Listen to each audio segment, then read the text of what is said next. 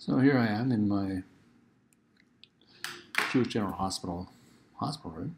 And got, as you can see, I've got uh, quite a nice view of the city here. You can can see over my shoulder. You can see the sun setting.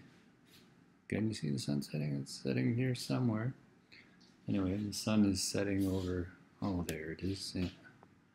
The sun is setting over. I guess it's kind of Laval anyway, you can see a, a lot of, from here you can see a lot of airplanes tracking across the sky heading to Dorval Airport, looking like they're all about to crash there.